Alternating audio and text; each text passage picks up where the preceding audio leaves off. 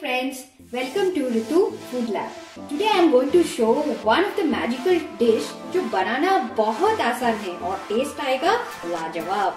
This is fish korma ये आप ज़रूर ट्राई कीजिएगा एंड डेफिनेटली आप ये कभी नहीं भूल पाओगे. फ़िश कोरमा बनाने के लिए हमें ये सारे चीज़ें चाहिए होगी. मैं आपको कुकिंग के दौरान सब बताते जाऊँगी. ये आप नीचे इंग्रेडिएंट लिस्ट में भी देख सकते हैं. मैंने सिक्स पीसेस शेयर फ़िश लिया है आप कुछ भी फ़िश ले, ले सकते हैं। अभी इसको बढ़िया से मैरिनेट करना है। So I will add one teaspoon ginger garlic paste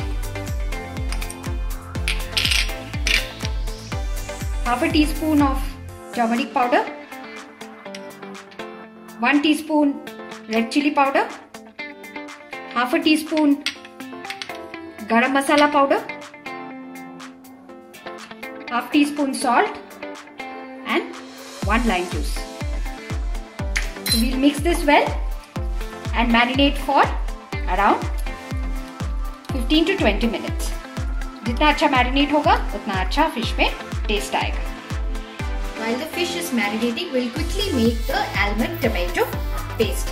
So for this, I am taking around 10 almonds, which is the skin is peeled. It is very easy to peel the skin You just have to put it in boiling water for one minute and you can take off the skin. Two tomatoes, roughly chopped. Half inch ginger chopped. Four cloves of garlic. Two green chilies and one handful of coriander leaves. इसको अच्छे से बिना पानी के mixie mixie में blend कर लीजिए ये पेस्ट बना लिया है ठीक है अभी हम लोग फ़िश को फ्राई करेंगे add around 3 tablespoons of oil. Once the oil is hot, we will add the fishes. Add the fishes, ऐसे करके ऐड कीजिए. आहिस्ता आहिस्ता करके. और इसको फ्राई कीजिए. जब तक ये हल्का सा गोल्डन ब्राउन ना हो जाए दोनों साइड ये आपको दो तीन मिनट लगता है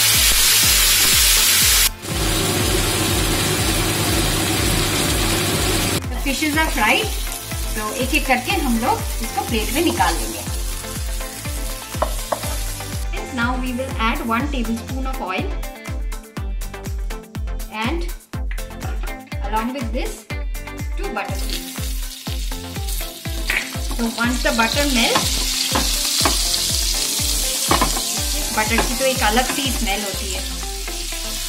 तो अभी हम लोग एक दालचीनी cinnamon, 3 cloves and 3 green cardamom. So we will fry this for 1 to 2 minutes. We will add the almond tomato paste. इसको अच्छे से इसे करके स्टर कीजिए and cook this very well by continuous you have to cook this nicely for around 4 to 5 minutes on a medium flame. जितने अच्छे से आप मसाला को भुनेंगे, उतना अच्छा टेस्ट होगा आपकी डिश की। This is the secret so इसका तेल निकलने लगा है। So now I am going to add one teaspoon of turmeric powder half a teaspoon of cumin powder 1 teaspoon of coriander powder teaspoons of red chili powder and 1 teaspoon of salt. We'll mix this well and give it a quick stir for around 2 minutes. The masala is cooked now so it's time to add some curd. So I've taken 3 tablespoons of beaten curd. इसको अच्छे से मिलाइए और ये अच्छे से cut के साथ mix हो जाए। और इसके दो तीन मिनट वो मिक्स को पकाना। है मसाला भून चुकी है। तो now we will add some water मैंने वो जहाँ पे फ़िश मैरिनेट किया है, वही वाला वाटर वहाँ पे मैंने वही वाला वाटर यूज़ किया है। ताकि वहाँ का जो भी, जितना भी स्वाद होता है वो आपका ग्रेवी में आ जाएगा all the fish juices will come into this gravy. So use the same water. So put this on high flame and now add the fishes.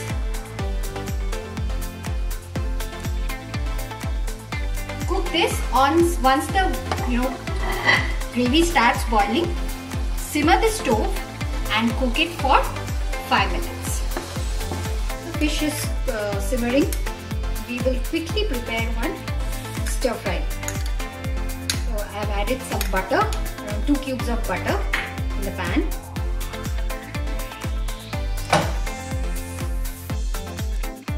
Now I'll add one onion slice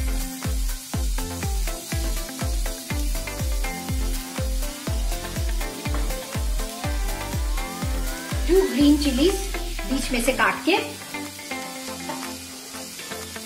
और एक inch ginger ऐसे strips में काट के। इसको बस butter में थोड़ा टॉस करना है। इसको पकाना नहीं है, सिर्फ़ एक दो मिनट तक इसको टॉस करना है। थोड़ा सा इसमें नमक स्प्रिंकल कर दीजिए ऊपर से।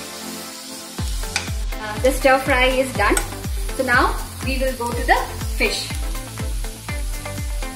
Wow!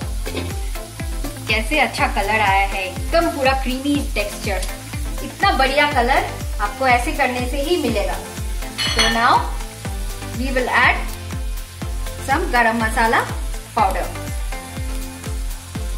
around one tea अगर आपको थोड़ा कम चाहिए, आप हाफ़ टी स्पून भी डाल सकते हैं. So now the secret recipe uh, ingredient I must say of this dish is the cream. तो मैंने अराउंड दो टेबल क्रीम लिया है।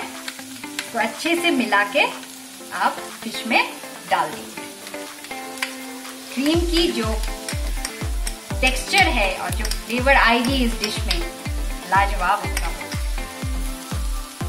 so the gravy is looking so attractive so now give this a quick stir. It's looking so attractive. आया ना अच्छे colour अभी इसके ऊपर मैं स्टर फ्राइड प्याज और जो अदरक और हरी मिर्चे हैं, मैं इसके ऊपर डाल देती हूँ